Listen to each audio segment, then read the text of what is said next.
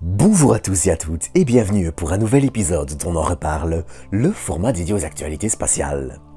Et pour cet épisode encore, les actualités spatiales intéressantes et parfois un peu tristes ne manquent encore une fois pas à l'appel. Entre une découverte du rover Curiosity sur Mars, la fin définitive de l'observatoire d'Arecibo, Blue Origin qui développe un second étage potentiellement plus efficace que le Starship, des images de Luna 25 et Chandrayaan 3 et encore quelques autres, je ne crois pas que l'on peut dire que les actualités spatiales de ces derniers jours manquent d'intérêt.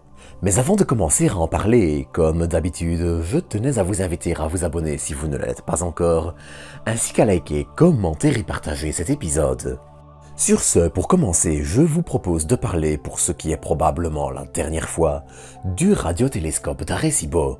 Souvenez-vous, le 1er décembre 2020, les derniers câbles soutenant la plateforme qui contenait les émetteurs et récepteurs radio cèdent assez soudainement entraînant la plateforme dans leur chute.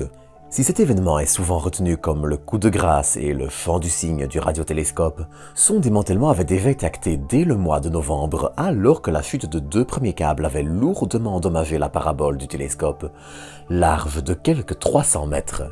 Finalement, ce 14 août, c'était l'arrêt définitif des serveurs et des instruments liés à l'observatoire d'Arecibo. Cela pose bien sûr un petit défi pour continuer à exploiter ces données produites qui sont sauvegardées, soyez rassurés, et garder à disposition les logiciels de traitement et j'en passe. Car si le radiotélescope et l'observatoire d'Arecibo, qui contenait aussi d'autres instruments que le radiotélescope, n'est plus, les données produites par l'observatoire, elles, risquent bien de continuer à alimenter la recherche pendant encore longtemps. En parallèle, le site va maintenant être converti en un centre d'éducation et accueillir des visiteurs d'ici quelques temps.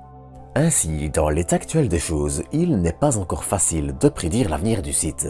S'il existe des voies et des volontés de construire un nouveau radiotélescope, le site étant idéal, les financements manquent et de tels projets risquent hélas de mettre encore plusieurs années avant de se voir donner une chance. Mais en parlant de projets futurs, on avait aussi droit à quelques informations sur des projets de Blue Origin. J'en ai déjà parlé quelques fois, mais à moyen terme, l'entreprise aimerait exploiter un second étage réutilisable pour son futur lanceur New Glenn, lanceur qui devrait voler d'ici plusieurs mois. Eh bien, ce second étage, baptisé Jarvis, dont on a déjà aperçu un exemplaire d'essai d'ailleurs, pourrait bien apporter une petite révolution, un moteur dit Aerospike, alors, j'ai déjà parlé du sujet dans un épisode sur le moteur à détonation rotative de la NASA, donc je vous invite à aller le voir en complément, le lien sera en fiche et en description. Mais il y a un point important à retenir avec les moteurs Aerospike. Ils sont efficaces, très efficaces. En fait, c'est en moyenne 25% de carburant qu'il est possible d'économiser en utilisant ce type de moteur, moteur qui a l'avantage de se passer de tuyères et dans l'ensemble, c'est une technologie pas encore très utilisée, mais très prometteur. Alors bien sûr, la force des aérospikes est surtout visible lorsque le lanceur qui utilise ce moteur passe par différentes altitudes dans l'atmosphère et par différentes pressions. En fait, la pression de sortie des gaz, qui est l'élément clé pour avoir un moteur avec un bon rendement, en plus d'une bonne combustion, se modifie au fur et à mesure alors qu'elle est figée avec une tuyère rigide, puisque la tuyère ne peut pas s'élargir au fur et à mesure que la pression atmosphérique diminue. Dans ce contexte, on apprenait la volonté de doter Jarvis d'un tel système, qui serait particulièrement efficace pour un second étage réutilisable, et devant rentrer dans l'atmosphère, l'aérospike devant d'ailleurs être intégré à un bouclier de protection thermique. Alors bien sûr, ce ne sont que quelques concepts et un brevet. Rien de définitif et il est encore mille fois trop tôt pour en déduire quoi que ce soit. Néanmoins, avec un tel outil et une capacité d'emport en orbite basse de 50 tonnes dans sa première version, Blue Origin pourrait bien réussir à rendre sa New Glenn particulièrement compétitive face au Starship de SpaceX. Mais alors que cet épisode sort, il y a aussi deux grosses actualités qui se déroulent également et nous promettent de magnifiques paysages lunaires. Déjà, la mission indienne Chandrayaan 3, qui emporte un atterrisseur et un rover, est désormais en orbite lunaire et continue de progressivement rabaisser celle-ci en vue d'un atterrissage prévu le 23 août. Dans la foulée, on avait d'ailleurs droit à ces deux images de la Terre et de la Lune, prises par les caméras embarquées à bord de la mission, et qui surveilleront notamment la descente. D'ailleurs, il est important de noter que ces caméras n'étant pas les principales, la qualité des images reçues depuis le sol de notre satellite sera bien meilleure. Dans la même période, le 14 août, on avait aussi droit à la publication d'une photo de la mission russe Luna 25, prise par la caméra qui filmera la descente et dont l'atterrissage est prévu, lui, pour le 21 ou le 22 août. Mais cette semaine, on allait aussi parler de Mars. Et pour une fois, alors que Persévérance a parfois tendance à un peu injustement entre guillemets lui voler la vedette, c'est le rover Curiosity qui allait réaliser une découverte, sinon majeure, assez intéressante. Sur ce panorama, vous pouvez en effet voir de petites figures formant des formes hexagonales. Eh bien, il s'agit en fait de boue qui connaissaient des cycles secs et humides, leur donnant une apparence assez bien documentée sur Terre.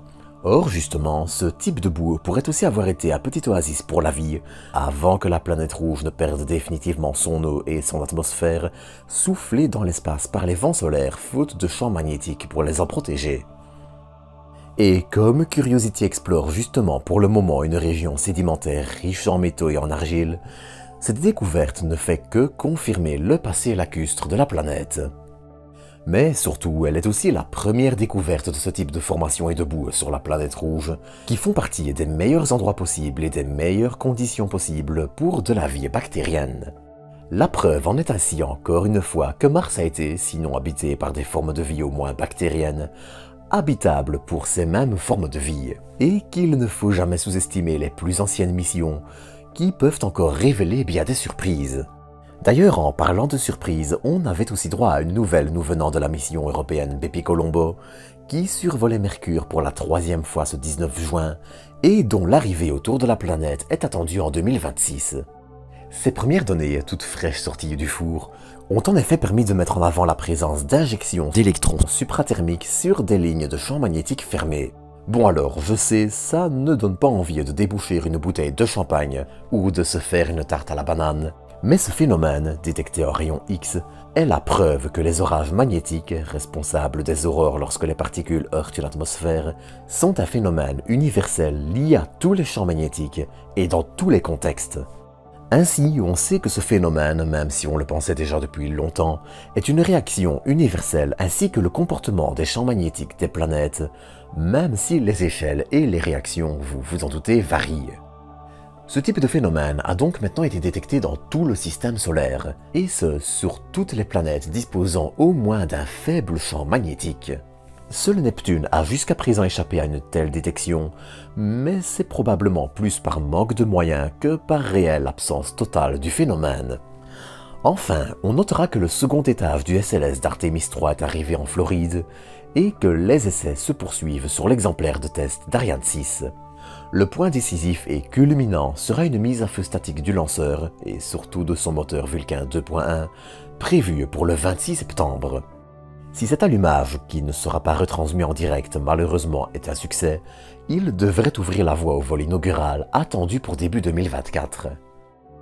Mais ça, on en reparlera encore. D'ici là, bientôt pour de nouvelles doses d'espace.